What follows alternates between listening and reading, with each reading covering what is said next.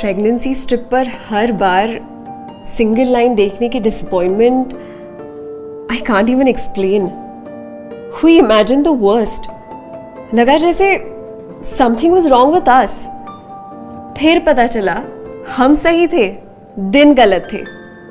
I know ovulation kit told us the best days to try for a baby Are you trying on your best days? I know, Ovulation Kit.